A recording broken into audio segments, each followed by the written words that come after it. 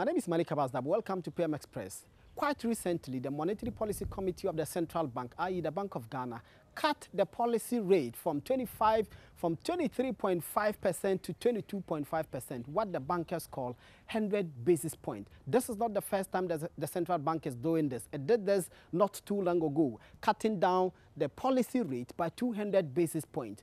What does this mean? Why are interest rates in Ghana insanely high? Why is it that compared to elsewhere in Africa, when you borrow money from a bank in Ghana, the interest you pay on that loan is absurdly high? I have somebody who will answer all these questions when we come back from the break. Keep watching.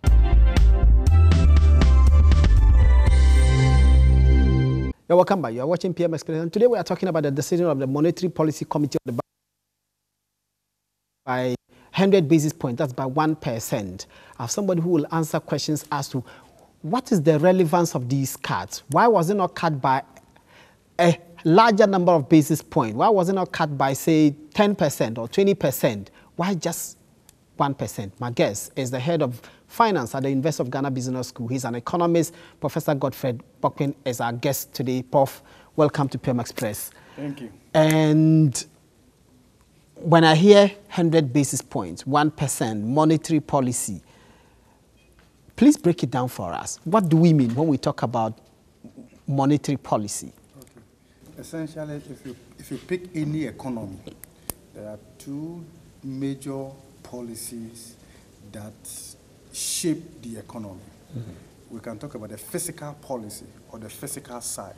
Okay. In there, the government has control in terms of revenue and expenditure. Okay, that's how much money we get, how much how money we spend. spend. That's a fiscal. Okay. that side and efficiency in that side. Okay. That is one side. Fiscal policy. Side. Okay. There's another important aspect also, which we call the monetary policy side. Mm -hmm. And the monetary policy side is under the control of the central bank. That's the Bank of Ghana. Yeah, or, yeah Bank of Ghana. Independent of any influence from government or any other authority. Okay. So Bank of Ghana is independent. Okay. Okay. And the, the, the, the framework is also done that beyond being independent, they also want to ensure their operational independence also. Okay. So what does Bank of Ghana do?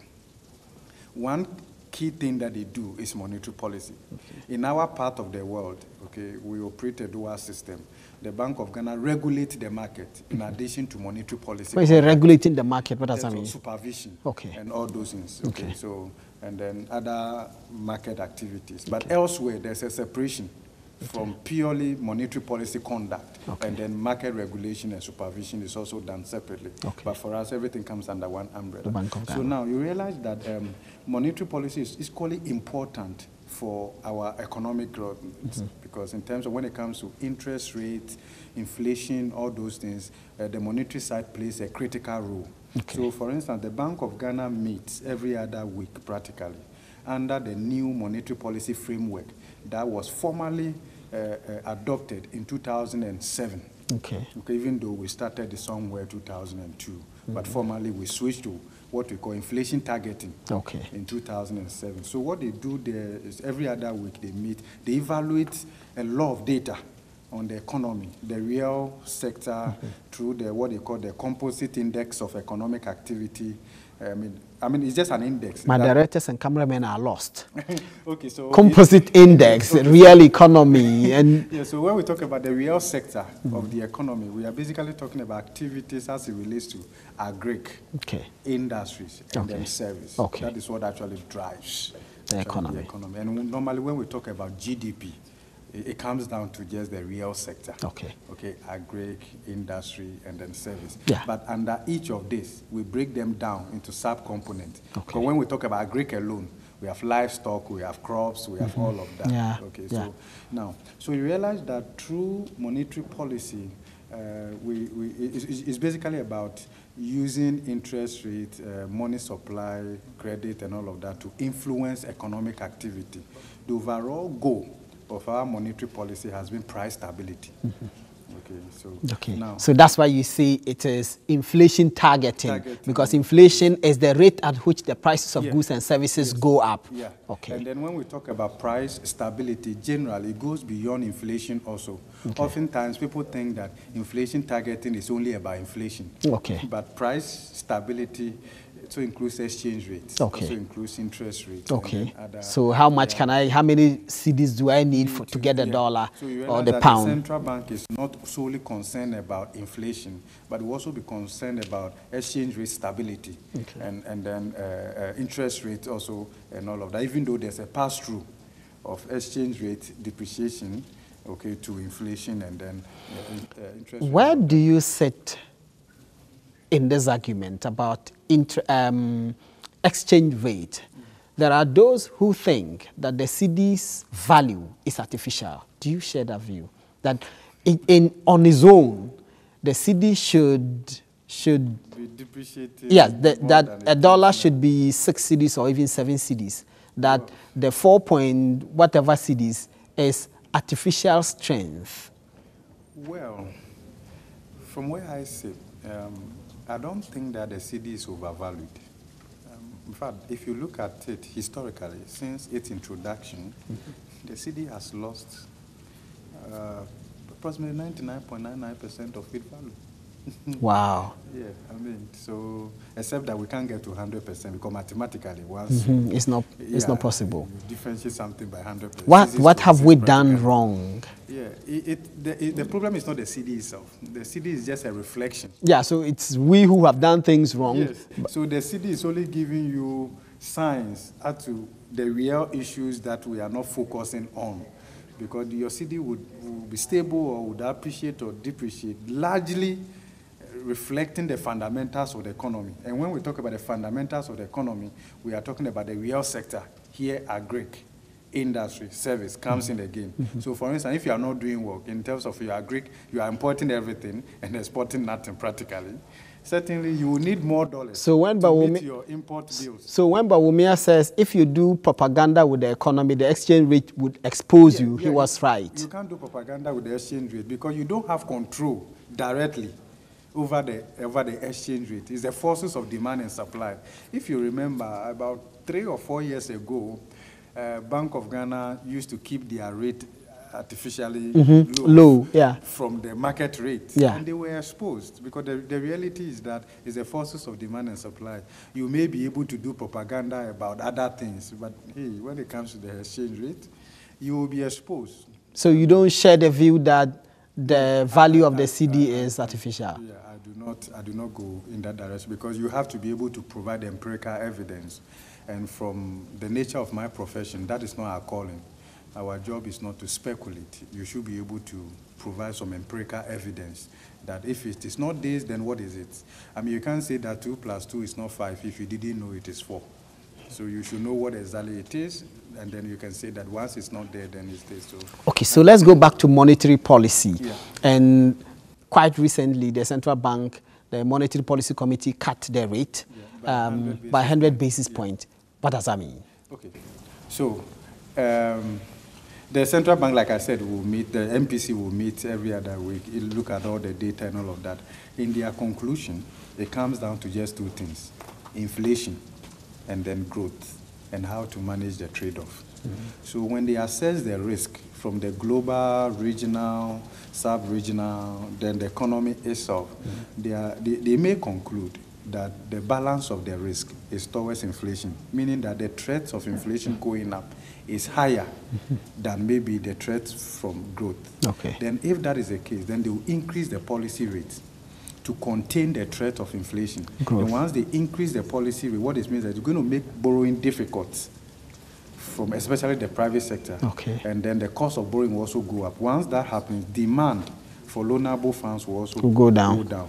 And once that happens, what it means is that uh, in terms of the amount of money that would chase fewer goods or something would also go down in terms of tightening uh, credit. Because the- people don't have disposable, people don't have a lot of money. a lot of a lot of money, and Liquidity. those who want to also borrow to actually expand would also be a little bit more difficult for them.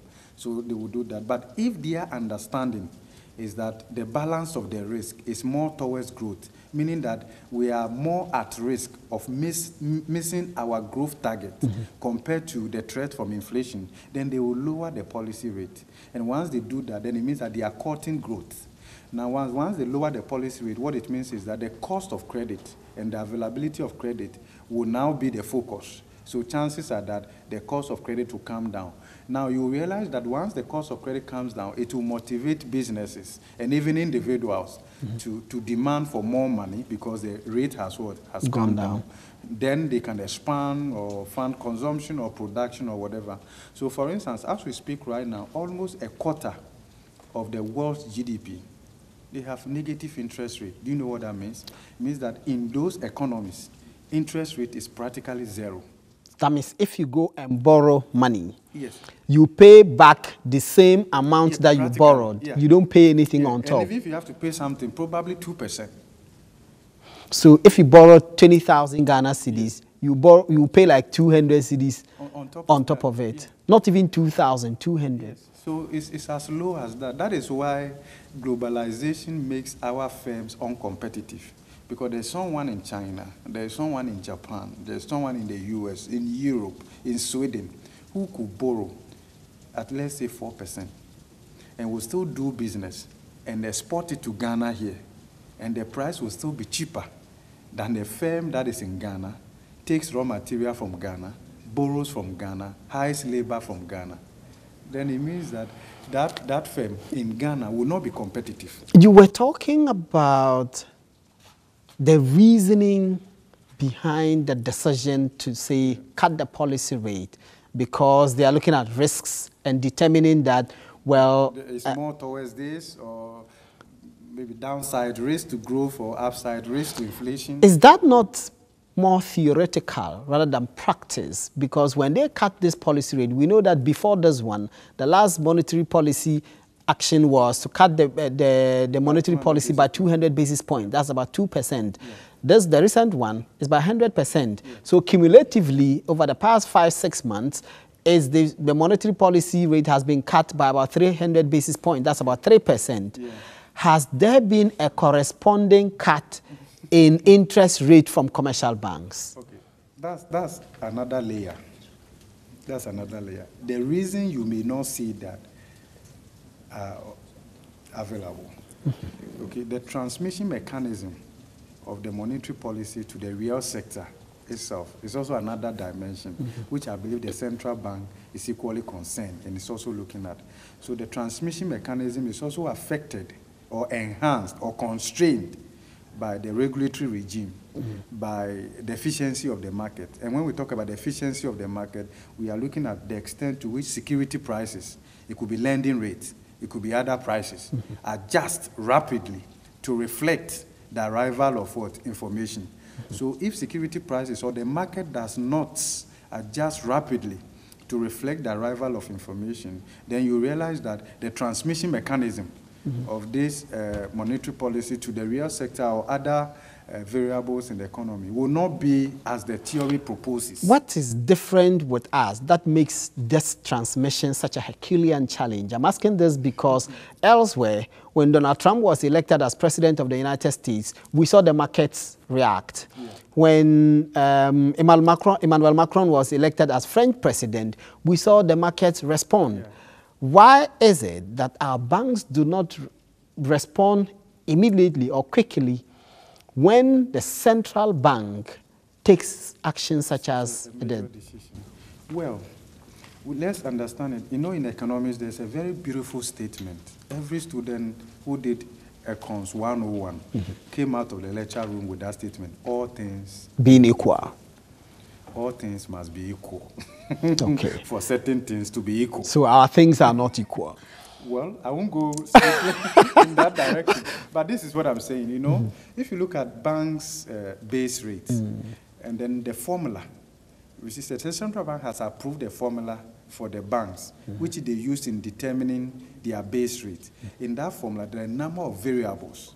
There are some or indirectly that the central bank has control over. over. There are a good number of them that the central bank doesn't what, have control over. For instance, when it comes to operational costs, costs, which is annualized in the formula, So if the cost of operation It's high. is very high, the banks are not NGOs. Central They bank can cut their policy rate to whatever level. Yes, they, the banks will find enough reason why they cannot pass on directly or with That a cut. commensurate cut to the ultimate customer because they are looking at other what variable. That is why we say that when you see the monetary policy is also done or conducted or a decision is taken with respect of the overall economic management strategy of the government.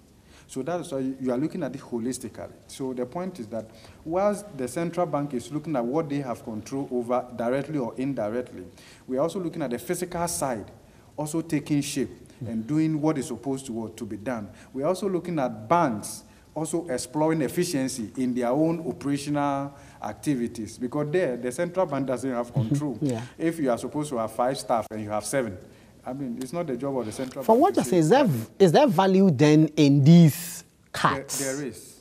There is. Where does it lie? Yeah, because so what it means is that once this is sustained, we are not there yet. We are not there yet. So we, we, we can say that Why are we not there? we are not there. Why? You, you just told me that cumulative over the last uh, four months or so, we have had a rate cuts of about this point. Elsewhere, this only then the policy rate was maybe five percent, and if you cut it by 300 basis points, you are talking about two percent. 2%, yeah. But It's even- massive. Yeah, even ours with the 300 basis point cumulative, we are around 22.5%. Is that not high enough? And that but leads. that's not the only thing. Mm-hmm. If you are a manager, a chief executive of a bank, finance input cost is just one variable you are looking at. There are other variables. Mm-hmm. The cost of maintaining a presence in certain areas in Accra is so expensive. You understand? Because the whole Ghana, excuse me to say, is just about Accra. Yeah, that's true. There's a high concentration in the capital.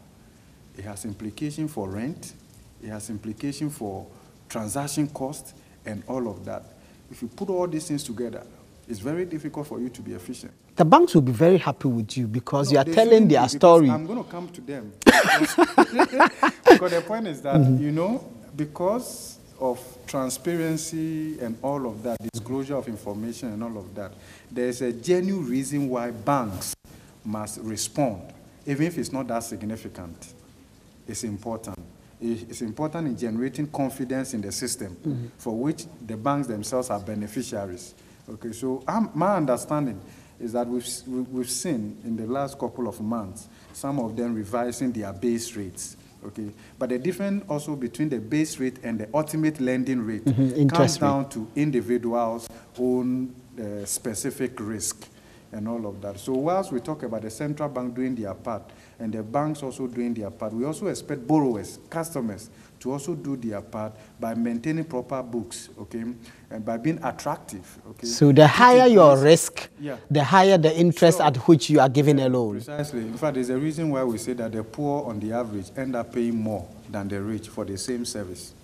Because the rich is more attractive. You know what the rich will do? They are likely to go to the wholesaler and ask for a discount. The poor, you know where he will go? He The will go to the retailer and buy it. The last chain of the retailer. Yeah, so he's going to pay for the profit margin of the retailer in addition to the wholesaler. The rich person has avoided all of that. And the rich person, because of his wealth and his, his, his rating, whatever, has a stronger bargaining power and can ask for a reduction. You cannot. Let's talk about interest rates in Ghana generally. In my readings before this show, I found out that as of um, 27th March Yeah. this year, interest rates in Kenya was 10%. In Ivory Coast, just next door, their interest rate is ranging between 4, 4.5% to 3.5%. That's interest rate. Ivory Coast. Why are interest rates in Ghana 29, 30, 33%? Mm, yeah, it's simple. It's insane. Well, it's a matter of choice. It's a reflection of our actions and inactions over the years. I'm not blaming anybody. This is Ghana's own situation. You will find that inflation is low in these countries. inflation is high here. Let me give you an example. During the the oil price shocks, let me put it mm-hmm. that way, mm-hmm. oil, world oil price came down significantly. Yeah. You know the effect of that in these countries. It, they pass on those gains The benefits. to the customers. It, fuel is an input cost. So it lowered their input cost. They also pass it on to their consumer. Do you know what that would mean? Inflation will come down. In Ghana, you know what we did? We held it up and slotted in Yeah. the energy sector. Energy sector le- levy. Yes. Yes. Probably government had a reason for doing that. The outcome is what we are seeing and what other countries also have. So there is no substitute essentially for doing the right thing because it's cheaper to do the right thing in time zero than to correct it a year or so later. That has been our problem. So if you look at the, uh, the fundamentals of our economy, we are not on the same level like Kenya, like Cote d'Ivoire. That's the fact. Cote d'Ivoire. Yeah. Why? Even if you look at the ease of doing business today, you'll be surprised that some companies actually relocated to Cote d'Ivoire because, okay, don't go too far. Do you know how much you pay for electricity in Ghana? Compare that to what somebody pays for electricity in Cote d'Ivoire. Yes, we heard the president complain about companies having to pay 42 cents uh, per kilowatt hour, and when companies next door are paying far less. Precisely. You know why that is so? Cote d'Ivoire is not essentially subsidizing electricity there. The reason is simple.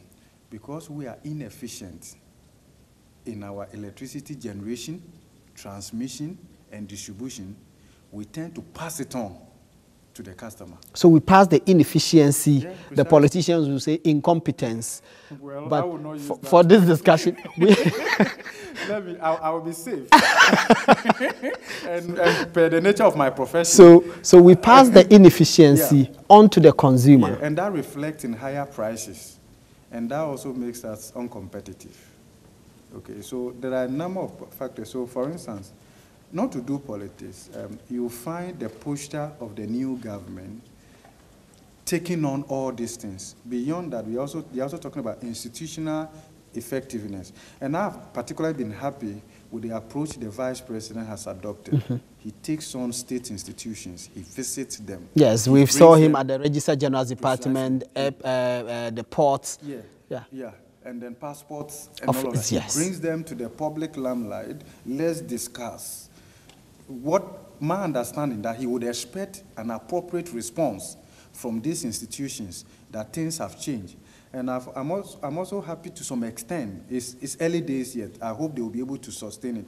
Government comes out with a position, with timeline. They are telling you by September, we want this out. Yeah, they want to remove all barriers on the roads. And so that when you are traveling to Paga, Yes. there are no these Yes. CEPS barriers, every barrier they will stop. That, that is a shift from what we used to see in the time past, where politicians would say, we are working on it. We are working on it. We will do something about it. Do you know, now, what this means for journalists and all of us is that one month from now, or from September, as they have said, we will go. We want to see the barriers removed. If they have not, we come back to those who gave us that assurance. You said this, that hasn't happened. And those who said that because of their credibility, they will make sure It happens. it happens. Not directly, but the, their own team would, would follow up that we give this deadline, give us a report before the media gets to my office and, and all of that, okay? So what it means is that, you see, unlike in the time past where accountability was essentially enforced by those horizontal accountability institutions enshrined in the, constitu- uh, in the Constitution, today the focus has shift, shifted from that. We are talking about diagonal accountability, where the media, civil society, communities play a watchdog role. in holding the government accountable. We have to take a break at this point. When we come back, I'll be asking Doc, what can we do so that the banks in Ghana can reduce their rate? When you go and pick a loan, you can pay a minimal interest on your loan. You're watching PM Express. We will be back.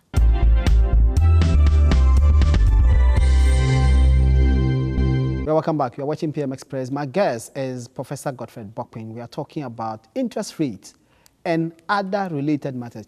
A lot of jargon, but absolutely necessary for our understanding of how the economy works and operates. Prof, before we went on the break, we were talking about the inefficiencies that we transfer to consumers.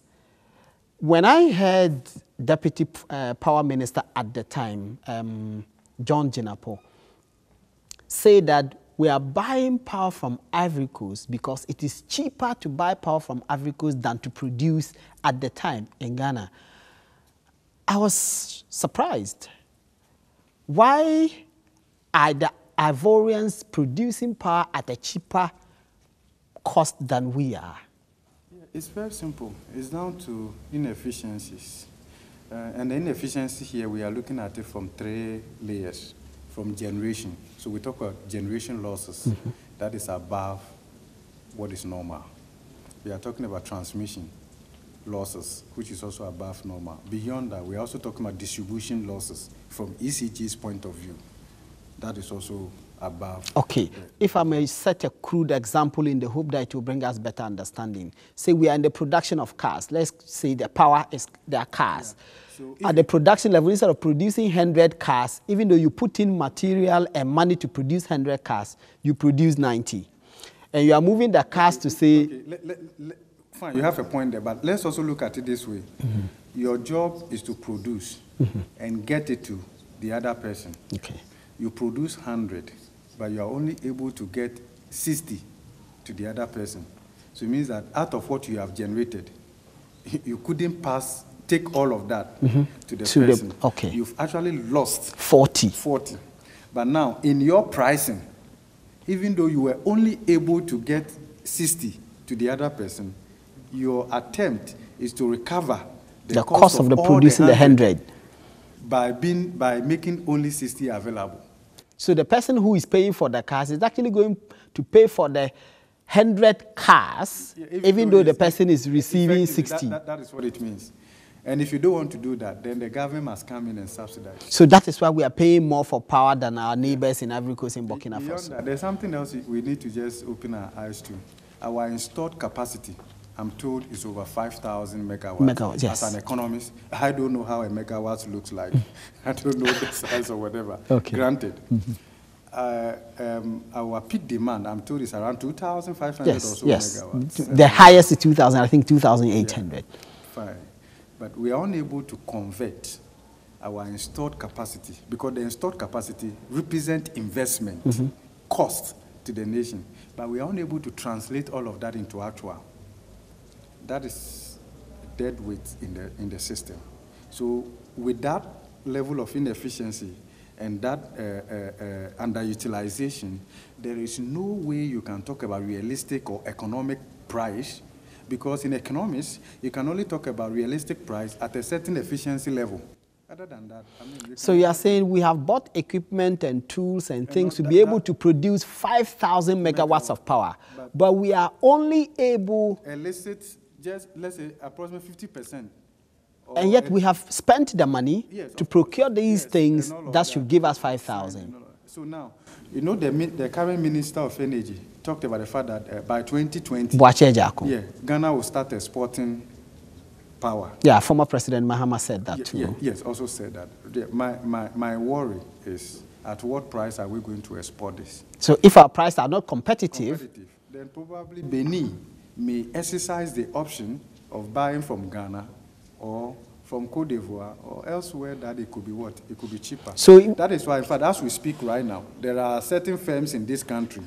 They only call themselves manufacturing firms, but they, in practice they are not. They import the, the, the, the, the goods or the items and only put a local logo on it because they have found that when they set up the production here, it makes them inefficient. Uncompetitive because the cost of production will be precisely. high. Precisely. So when they, they bring it from outside and repackage, they are able So let's talk about money from power. Let's talk about money.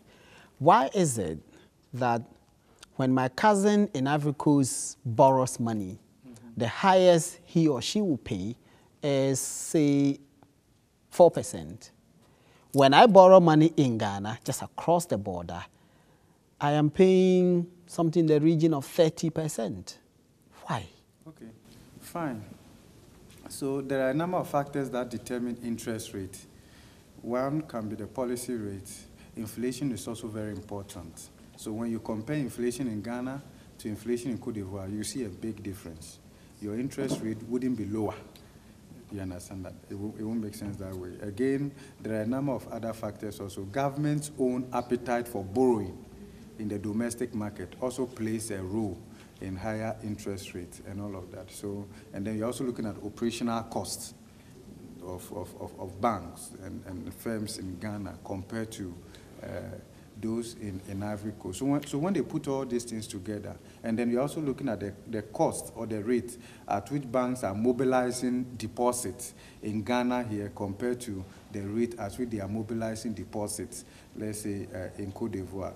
And then you're also looking at exchange rates. You know, over the years, you'll find that the, the CFA franc is more stable okay, because the, it's backed by the economies of the francophone okay. countries. Okay, like I said earlier, that the cedi depreciates only in a, in, in, a reflection, or it's a reflection of the of what what is it that is backing the cedi. It's just a small open economy where more than 70% of business input cost in this country is imported. You understand? And once that happens, then any variation in the currency, right, would, would, would, be absorbed through the production channel and passed on to the customer at the end of the day. So the point is that, yes, we, and then also, you know, one key requirement for inflation targeting to be effective is fiscal discipline. Mm -hmm. Over the years, we, we, we have denied the central bank the necessary fiscal discipline that would have enabled them to effectively deploy monetary policy to bring down inflation, okay, and then engineer growth even though bringing down inflation may not seem uh, that user friendly for a lot of people, low inflation itself is desirable. Okay, so so the public in the public sector, i.e., the political authorities, yes. the discipline with which they raise money and spend the it money has implication even for monetary policy conduct, and for that reason, the rate at which you borrow, you may not have benefited directly from the fiscal side, but their actions and inactions have a wide-ranging or pervasive impact in the lives of everybody. That is why you find that, uh, to some extent, we, we supported the IMF program because not because of the money that we'll get. How much is 918? Yeah, it's 918 million dollars. How much is that? I mean, That's less than a billion, and we had taken several euro bonds billions euro bonds. But the reason we all supported it was that uh, the IMF program was going to ensure some level of fiscal discipline on the side of government, especially in the run-up to the election. Because the reason why we found ourselves in this situation largely has to do with how we conducted ourselves during the 2012 election. Mm -hmm. And as we speak, with, with, I can tell you that Ghana has not fully recovered from the election excesses of 2012. Wow. And then we went into 2016 as well because it, it was the election excesses and the indiscipline and the, the, the, the fiscal relaxation and the monetary accommodation that uh, surrounded the 2012 elections. The reasons was massive. We, yes, was the reasons were the reasons why we had to go for the IMF program. So if you check the, if you look at the IMF program, one key uh, objective of the IMF program is the elimination of fiscal dominance of monetary policy. Okay. Uh, let me break it down. Absolutely. so, mm. in other words, it, it, we know that for inflation targeting, it will only be effective if fiscal discipline is preserved. Mm -hmm. And therefore, they are going to put in place certain stringent measures that would enable Ghana government to spend within its means or within its budget, will not go all about so, fiscal slippages or if you spend in excess of your projected expenditure, you have worried the market. Our problem also has been that the destinations of these expenditures do not necessarily uh, near to our to the benefit, benefit of the productive sectors of the economy. The average the politician will spend to get food than to increase production or something. So these are a number okay. of issues that I, I want to believe. Am I understanding you to be saying, over the years, we have behaved like the boy whose father, when he, they gave him money, will go to school, squander all of the money, go and borrow more, and then when the father gives him money, he can actually pay for his debts. Yeah because he's taking the money and he's misapplying it. Yes. Now his uncle has to step in Yeah, and, and- now and really- take the money. Whenever the father gives him money, he'll go and give it to his uncle. Then his uncle will keep the money and regulate how he spends it so that he doesn't run out of money and then go and borrow and then he's in debt. And, and, yeah, and, and in addition to that, now they tell you that previously you used to report to only your father. Now report to your headmaster, Okay. which is, let me put that, let's say that is the IMF. So in addition to being transparent to Ghanaians and parliament and all of that, the Ghana government will have to be transparent to the IMF, supply regular update, okay, which is necessary. So the that's IMF has become come- headmaster with a yeah, cane. They come here and do in, in, uh, IE, what we call in the invest interim assessment. yeah. They come do their review and then they say you have passed. Then they release some small money to you. Unbelievable. but we, we needed to do this because we felt that uh, the government would take the IMF more serious than they take Ghanaians. And because the IMF has got that clout to actually ensure that governments or nations pay more attention to So why did we advertise the going to the IMF as some great achievement? We went there because we needed help, and I'm not too sure how we can celebrate that. Uh, even though we are a member of the IMF and all of that, it's not compulsory to, to go to them. But of course, it makes the IMF also happy because we have made them more rel relevant in the world than the developed countries. So we mess up and go to them and say, okay, now come and uh, the, those who sing will say, come and take the stair. They help us. I mean, um, the IMF has been useful to us. I've heard a lot of people criticizing them. They've also had their downside and all of that. If you look at a number of the reforms that we boast about today, they came as a result of IMF World Bank reforms. Yeah. Talk about the Public Financial Management Act and mm-hmm. all of that. Talk about the new Bank of Ghana Act. Financial Administration Act. Acts and all those things. So uh, But is there not where the problem lies, Prof? We pass these laws. When the IMF moves out, we hold the laws in abeyance. yeah, We, we have a Public Procurement Act. The abuses of the Public Procurement Act are well, uh, uh, Procurement Act are well documented. Yeah, I mean, our laws are observed more in breach than in compliance. The enforcement aspect of our laws are very weak. Not that we have good laws. I'm not a lawyer, but my understanding of the system, the regulatory framework, and all of that, in the literature, we interact with the law and all of that. If we're able to enforce them, okay, without fear or favor, we would do well. But Ghana has a problem that we have to be able to deal with. And, and, and the way to do so is to hold government accountable. The way to do so is to explore efficiency. There's a limit to how far the central bank can go in reducing interest rates. There's a limit to how far the banks themselves can also go. It has to be seen as a collective effort, both from the borrower point of view, the supplier point of view, the regulator point of view, and the government also. Once we are all doing our part and complementing each other, our efforts and all of that, we should be seeing rates coming down because I am quite hopeful because we have been there before. Uh, inflation at the end of uh, 2010 was 40.8%. We brought it down. Brought it down. The- At the end of 2000, Yeah. 2000, Yeah. yes. Okay, so we went through HIPC. If you remember, Ghana's. Yes. debt to GDP ratio at the end of 2000 was more than 100%. We went through HIPC, finished that in 2004. We went through the multilateral debt relief initiative, finished that also in 2006. Our debt to GDP ratio came down significantly. It will also interest you to know that during that period, Ghana was under an IMF program called the Poverty Reduction and Growth Facility. But Ghana decided to exit. We decided to exit the IMF program, and which paved the way for us to, to, to issue our first Euro bond. Bond uh, in 2007, in the 750 euro But bond. Unfortunately, the resilience of our economy, okay, wasn't that strong. So the global crisis, 2017, 2007, Seven. 2008, world oil prices that escalated and all of that. I mean, and slamming commodity prices essentially brought us to our, our knees. Then we had to make a U-turn, less than, I think, two years or so, we had to make a U-turn in 2009 when we went for an IMF program. But you also realize that during that period, we, we, we even achieved single-digit inflation. Yes, for, for, for a sustained period yeah, of I time. mean, and, and, and we were all happy. The government took the credit for it and all of that, except that uh, whilst inflation was single digit, exchange rates couldn't complement that.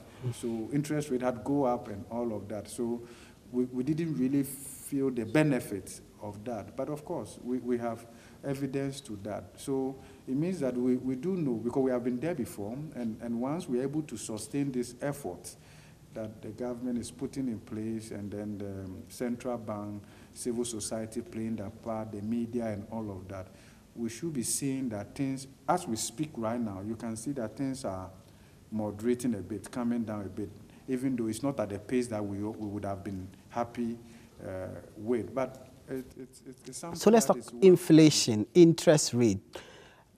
Are you seeing policies, actions, steps being taken by government that give you some hope that we can bring these things to that level that you just spoke about, the 2001, 2006, those actions that brought us to a level where you could be excited that the government was no longer borrowing domestically and treasury bill rates had fallen substantially.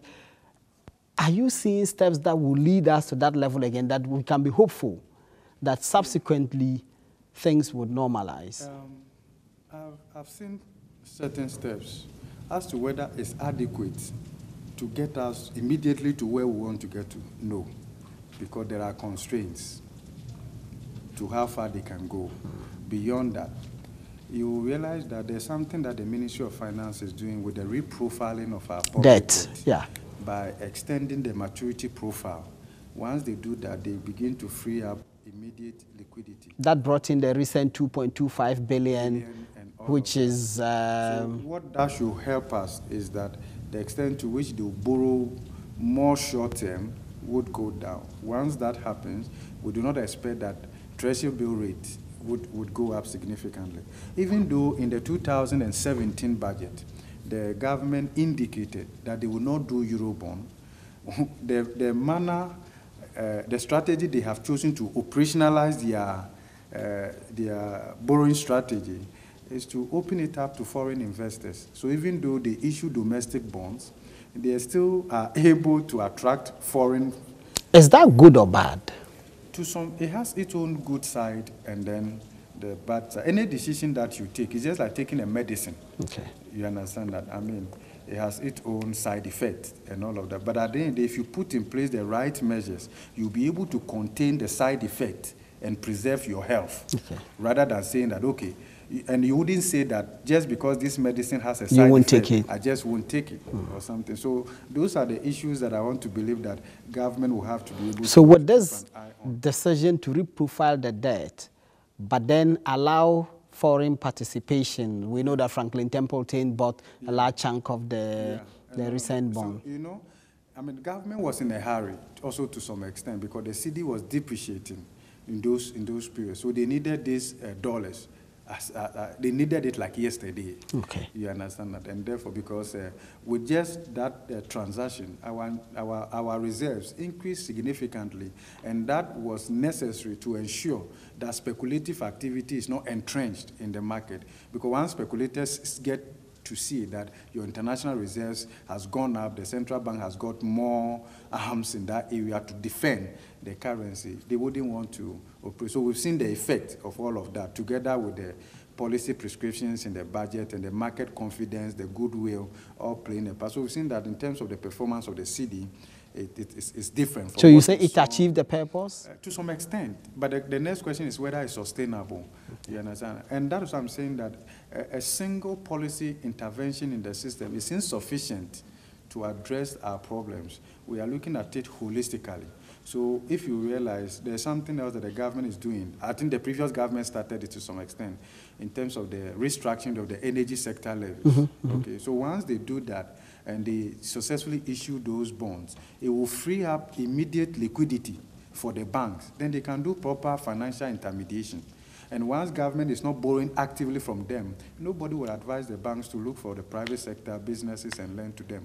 We were all in this country, I think somewhere 2004, 2005, 2006, and even some part of 2011, where banks were actively calling businesses To come and pick to- loans. To come and pick loans. That is where we need to get to and sustain it. Once banks begin to pick their phones and they are calling people for loans, what it means is that the bargaining power has been transferred from the banks to the borrower. Now the borrower can then say that your rate is high. That is why I'm not picking your call. So if you want me to pick your call, what Bring down the rate. you lower the rate. That is how the bargaining is done. That is why we talk about forces of demand and supply, determining rate. And when we talk about these forces, these are not witches or wizards. I hope you understand. When you lift the veil, you get to see the number of. we have to take a break. At this point, when we come back, I'll be asking Prof, when does he expect this to happen again? That banks will chase people and we can hope that the interest rate will fall. You are watching PM Express. We will be back. We are watching PM Express, and today we are talking about money and why money is expensive in Ghana. When you borrow, why it's so expensive? Dr. Godfred Bokpin. Professor Godfred Bok- Bokpin is giving us some, because you were a doctor before you're a professor, I'm struggling to move on.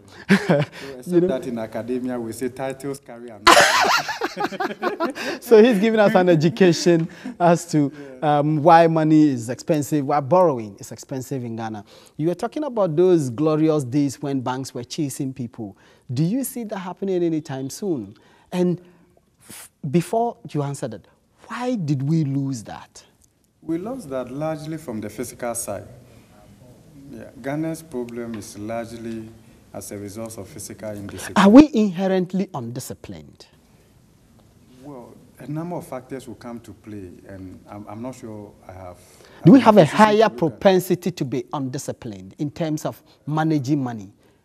I think that the, the, the structures have been designed to accommodate a certain level of indiscipline. That's a very diplomatic way of putting it.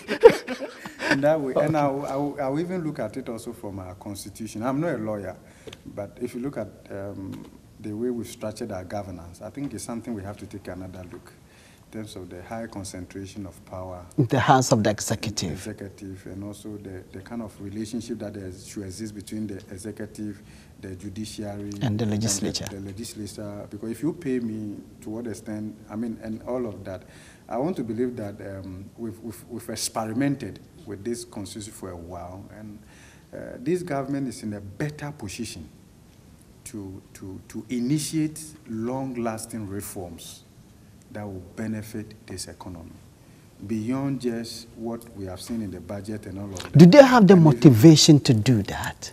You know, the motivation is higher when they are in opposition because they are not the beneficiaries. But when you are in power and you are the beneficiaries of all of this, you tend not to, to take, you understand that and all of that. But I, I expect this government to, to rise up beyond their own interests and look at the broader common good.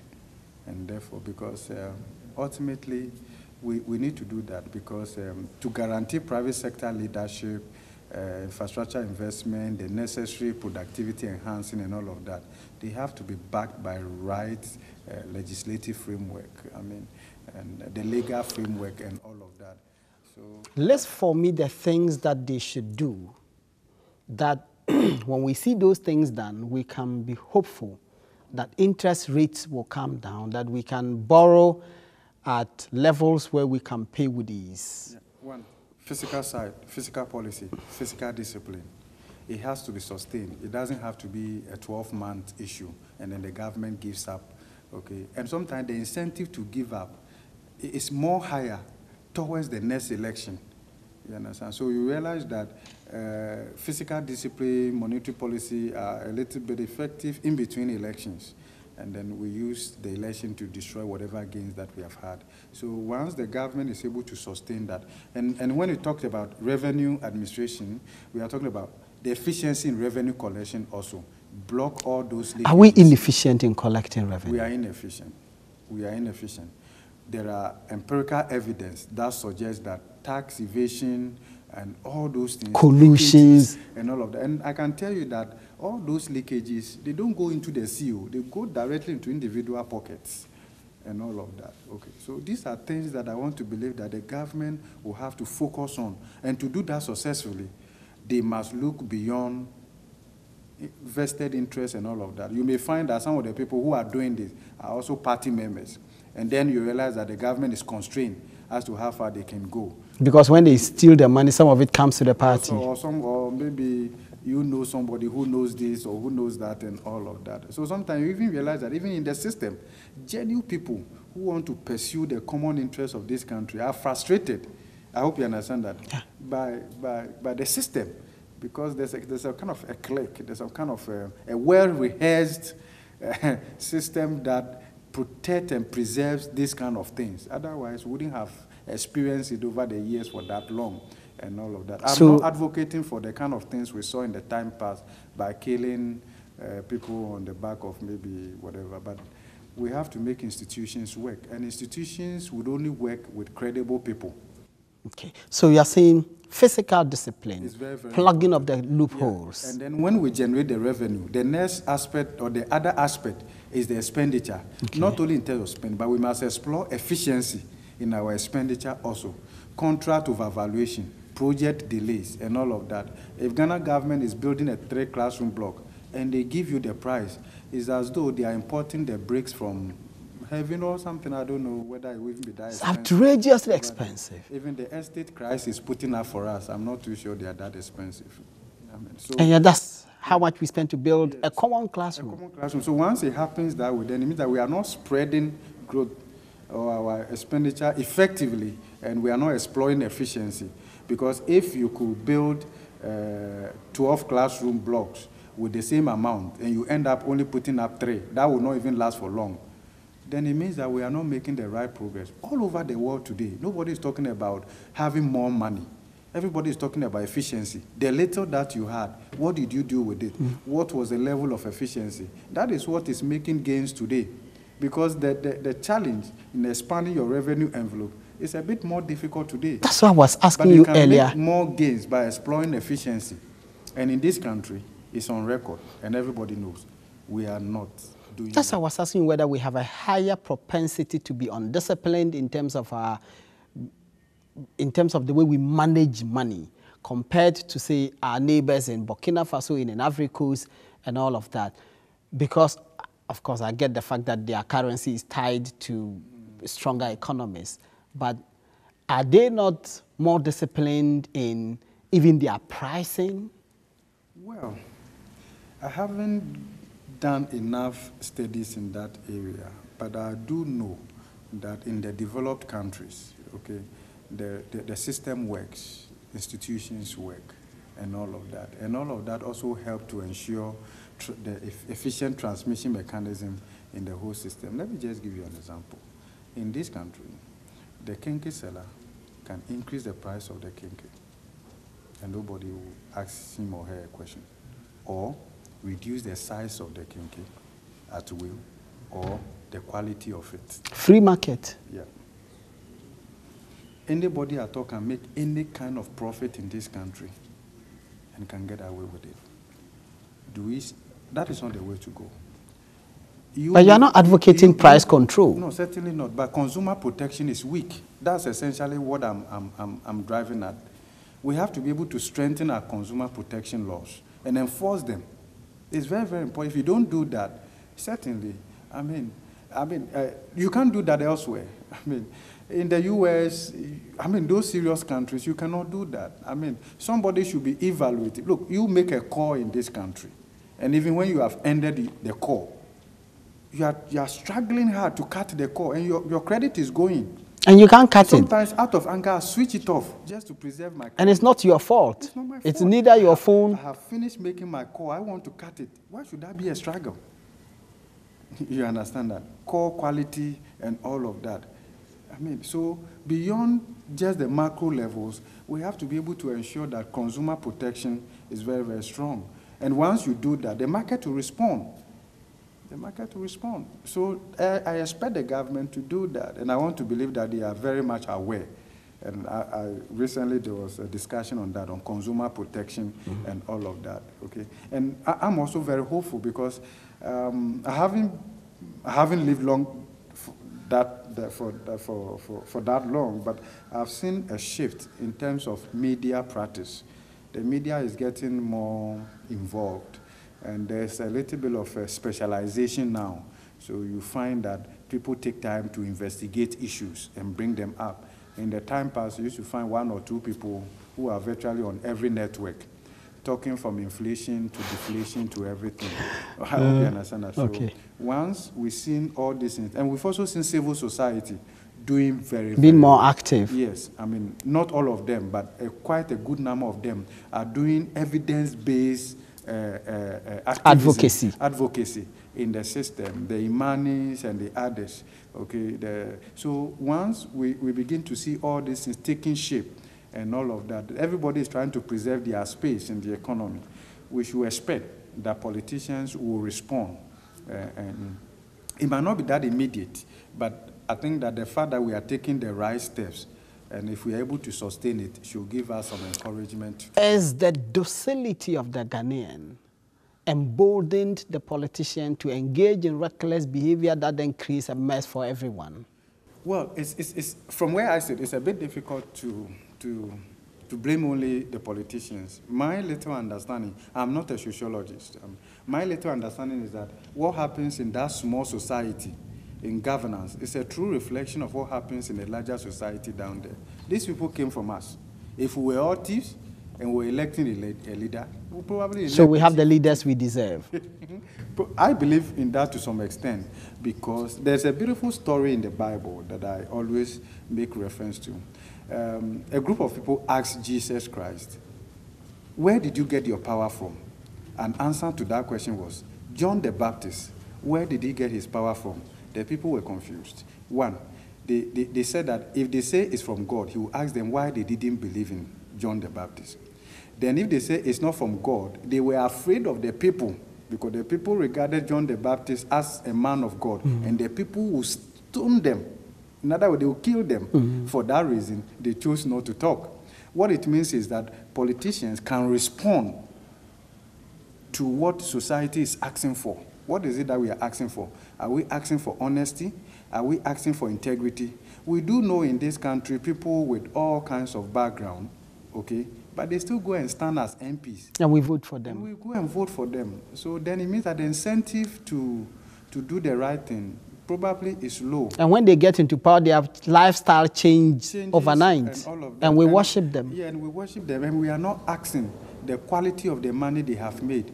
It's good to make money, but the manner in which you make the money, people should equally be interested. You understand that? Because it's, it's important. All over the world today, companies make profit, but the manner in which companies make their profit is also under scrutiny. You can't do so by exploitation. We talk about child labor. In our part of the world here, it may not be an issue. Is that not so? Yeah. But elsewhere, child labor could be the reason why they will not buy your product. And then companies are doing corporate social responsibility today and all of that. Okay, so I think that there has to be a bigger response rather than just looking at the, policy, the politician at the top. They change it because they do. They, they also know because they came from us. They are one of us. We were together. We were in schools together. We were in the lecture room together. They were not, they were not different from us. Prof, it's been great. I have been enlightened. I believe you have been enlightened too. We've been talking to Professor Godfred Bokpin, Head of Finance, University of Ghana Business School. He's an economist. He's been giving us some education on what Ghana should and can do to change this insane situation where you borrow money and you pay insane amount as interest. Um, my shirt, beautiful one. Call Latida 0204 366 336 444 0204 336 444. Latida gave me beautiful shirt. Get the mantle. We bring you another exciting discussion on PM Express. My name is Malik Abass Daabu. Bye bye.